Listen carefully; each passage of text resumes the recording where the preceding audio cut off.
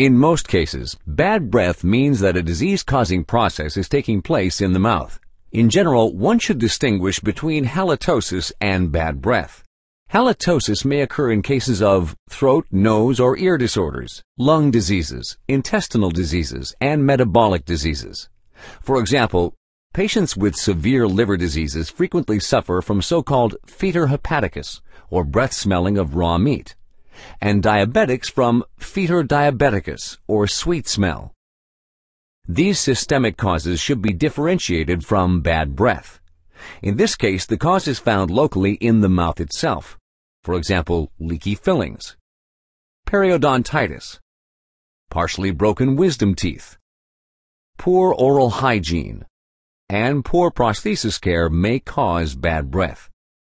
Treatment is relatively simple.